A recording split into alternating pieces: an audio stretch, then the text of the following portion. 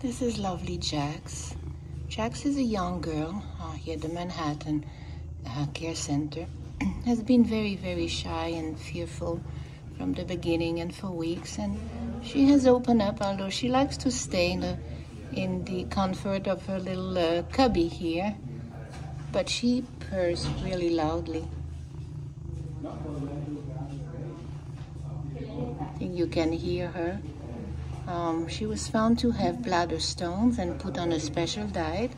And because of the special diet, her stones have dissolved and she doesn't have any, but she will have to be on that diet for the rest of her life.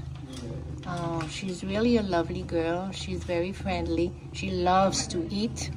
And uh, when she eats, she rolls on her back with her four in the air. Right? She's a little bit chunky. But she's a lovely girl, right? You're a good girl. You're a good girl, Jax, huh? They should have given you another name. That's not a girl's name. No. She's very, very sweet. So this is Jack at the Manhattan Care Center, a little girl who, after all this time here in a kennel, would love to have a home and a family, and maybe, maybe it could be you, Jax.